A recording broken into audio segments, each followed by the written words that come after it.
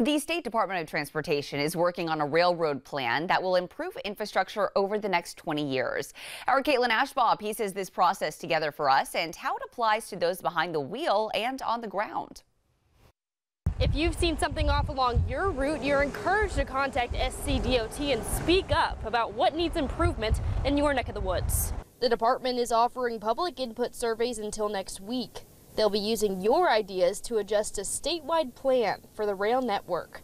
Several of those already favor a connection to bike and walk safety. Look at what's sort of hiding in plain sight and how could those be turned into beneficial corridors for people biking and walking across all income levels and across all stages of like life like we shouldn't have to take our lives into our hands the DOT is hearing suggestions to transform abandoned railroads into greenways and the needed maintenance for existing crossings.